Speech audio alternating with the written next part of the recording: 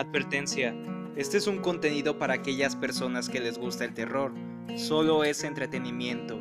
Y si eres un niño o una niña miedosa, es mejor que no hagas esto.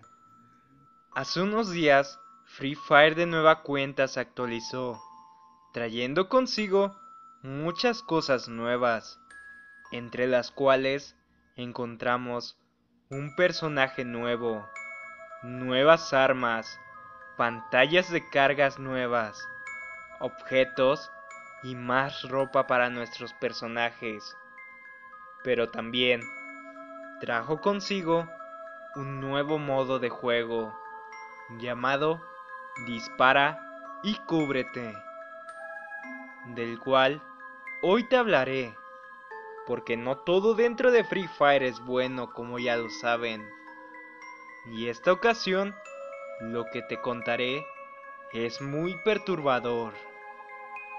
Así que está más decirte que es tu responsabilidad escuchar lo siguiente.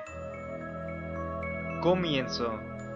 La historia que les relataré a continuación fue sacada gracias a un correo electrónico que me llegó hace un día.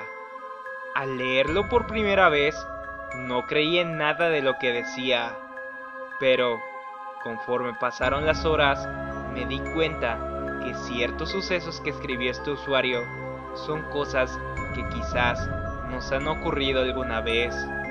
Y por eso es importante que lo sepan. El correo decía lo siguiente.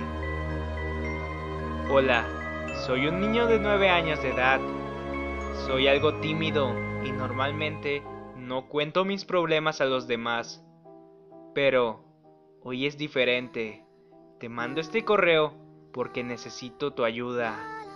Necesito que tú des a conocer mi historia para que todos los jugadores de Free Fire tengan mucho cuidado mientras juegan, ya que el juego es del mismo diablo.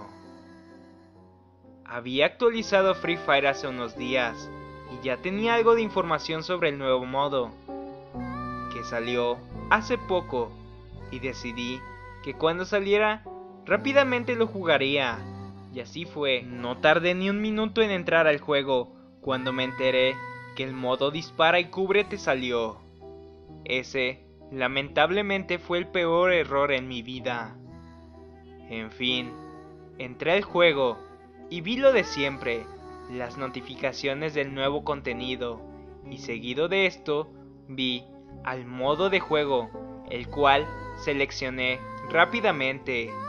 Le di clic en la opción que tiene un signo de interrogación y me sorprendí al leer que este modo solo se puede jugar en un horario en específico, justo a partir de las 18 horas hasta las 23.59 de la noche.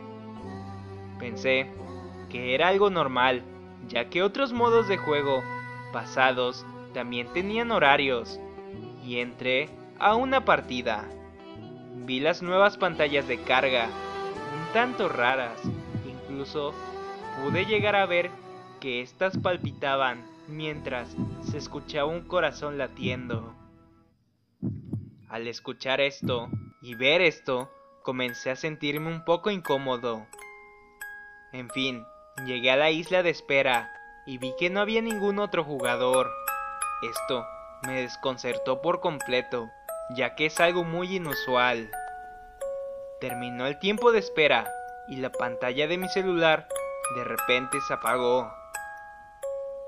También, mientras esto sucedía, mi celular comenzó a calentarse demasiado, tanto que lo solté porque me estaba quemando los dedos. Esperé unos segundos y lo volví a tomar. Al hacerlo, la pantalla extrañamente volvió a encender y mi personaje se encontraba cerca de una orilla de la zona tóxica. Me encontraba jugando solo, pero por obras de seres perversos, el chat de voz activó y escuché una voz que decía lo siguiente.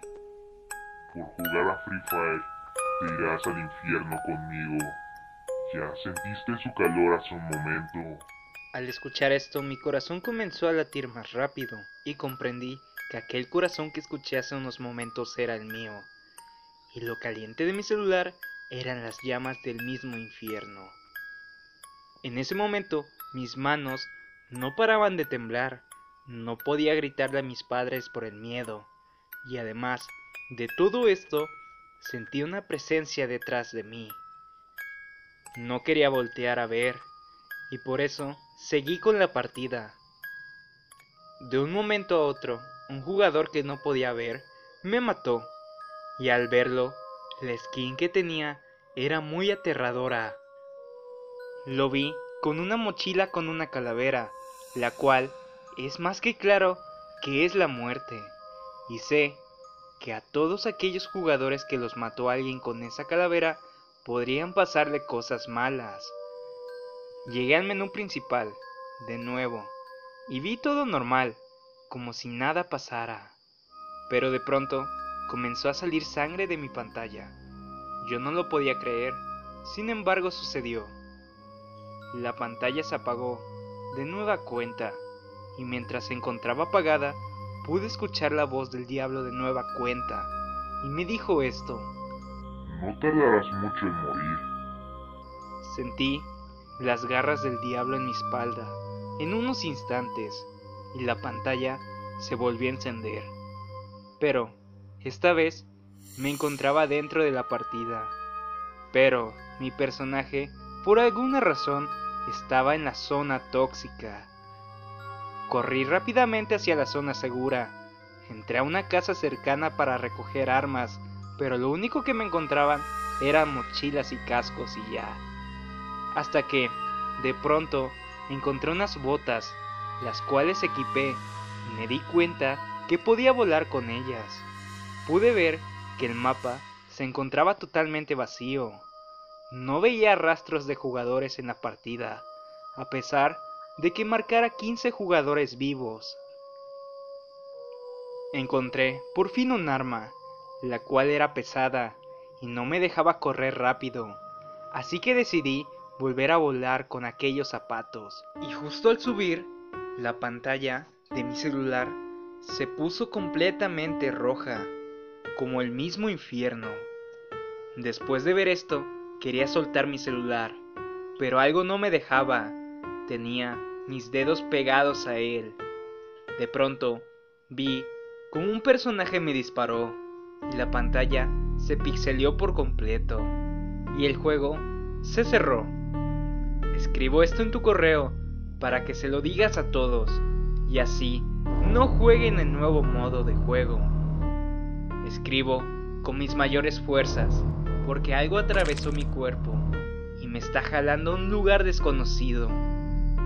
Aquí termina este correo y deja mucho en qué pensar sobre lo que le sucedió al niño se cuenta que si has jugado este modo o te han ocurrido cosas parecidas, te podría pasar algo malo.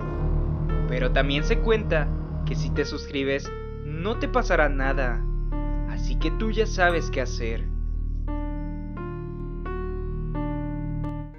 Bien chicos, ahora sí pasemos a los saludos. Hoy solo vienen de YouTube, pero la próxima semana de Facebook y Instagram. Empezamos con Alejandro Sosa. Un saludo bro. También otro saludo para Asesino Bro Ted. Gracias por ese comentario. Aquí tienes tu saludo. También para Diego Leonel Basurto. Un saludote. Gracias igual por ese comentario. También para El Tomatín 55. Gracias también por ayudarme la vez pasada. También para Jairo Velasco. Gracias, gracias también por tu comentario. También un saludo para Sha Sánchez.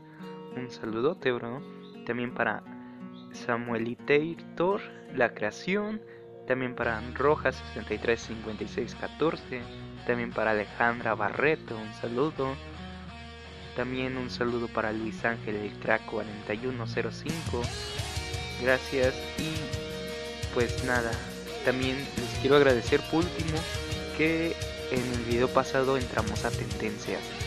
Ustedes son enormes, son grandísimos gracias por todo. Y también eh, quiero agradecerles porque ahora mismo somos más de 272 mil suscriptores que pues nada, no puedo agradecerles de una manera